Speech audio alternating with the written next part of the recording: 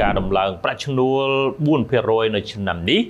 នឹងជួយធ្វើឲ្យធនាគារកណ្ដាលជប៉ុនបញ្ចប់អត្រាការប្រាក់អវិជ្ជមានជាប្រវត្តិសាស្ត្រ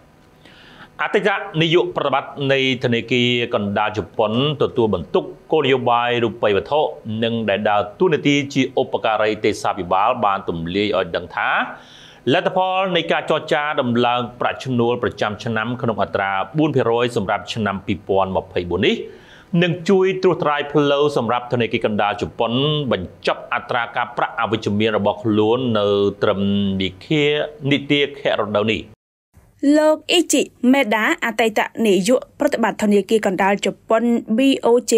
ដែលដើរតួនាទីជាឧបការីទេសាភិបាលបានលើកឡើងនៅក្នុងបទសម្ភាសន៍មួយកាលពីពេលថ្មីថ្មីនេះថាការចរចាជំវិញការដំឡើងប្រាក់ឈ្នួលប្រចាំឆ្នាំនៅនីតិខៈរដូវឬរដូវផ្ការីកនេះអាចទទួលបានលទ្ធផលល្អប្រសើរជាងឆ្នាំមុនដោយការដំឡើងប្រាក់ឈ្នួលអាចឈានដល់4%ដែលនឹងជួយត្រួសត្រាយផ្លូវសម្រាប់ធនាគារកណ្ដាលជប៉ុន BOJ បញ្ចប់អត្រាការប្រាក់អវិជ្ជមានរបស់ខ្លួនជាប្រវត្តិសាស្ត្រនេះបញ្យងតាមការចុះផ្សាយរបស់សារព័ត៌មាន Japan Times អត្រាការប្រាក់អវិជ្ជមានឬ negative interest rate សំដៅដល់អត្រាការប្រាក់ដែលស្ថិតក្រោម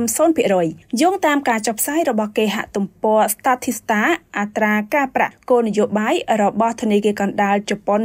BOJ នៅតែស្ថិតក្នុងរង្វង់ដក0.1%ក្នុងមួយឆ្នាំគិតត្រឹមខែធ្នូចុងឆ្នាំ2023បណ្ដាវិនិយោគិនកំពុងតាមដានយ៉ាងយកចិត្តទុកដាក់ចំពោះការចរចាដំឡើងប្រាក់ឈ្នួលប្រចាំឆ្នាំនេះពីព្រោះវាអាចដើរតួនាទីយ៉ាងសំខាន់នៅក្នុងការចាប់បង្ខំឲ្យធនាគារកណ្ដាលជប៉ុន BOJ បញ្ចប់អត្រាការប្រាក់អវិជ្ជមានរបស់ខ្លួនជាប្រវត្តិសាស្ត្រ សម្រាប់ហេតុផលនេះអ្នកតាមដានស្ថានភាពរបស់ធនាគារកណ្ដាលជប៉ុន BOJ ភាគច្រើនជឿថាធនាគារកណ្ដាលមួយនេះនឹងរងចាំរហូតដល់ខែមេសាមុននឹងដំឡើងអត្រាការប្រាក់ជាលើកដំបូងមិនធ្លាប់មានចាប់តាំងពីឆ្នាំ2007មក លោកអ៊ីជីមេដាបានព្យាករណ៍ថាប្រសិនបើការដំឡើងប្រាក់ឈ្នួលប្រចាំឆ្នាំកើនឡើងដល់4%ដោយការរំពឹងទុកវានឹងក្លាយជាការដំឡើងប្រាក់ឈ្នួលក្នុងអត្រាខ្ពស់បំផុតមិនធ្លាប់មានចាប់តាំងពីឆ្នាំ1992មកលទ្ធផលបឋមរបស់ Rengo ដែលជាសហព័ន្ធសហជីពធំបំផុតនៅប្រទេសជប៉ុននឹងត្រូវបញ្ចេញនៅថ្ងៃទី15ខែមីនាមុនពេលធនាគារកណ្ដាលជប៉ុន BOJ កោះប្រជុំនៅក្នុងខែដដែលនេះ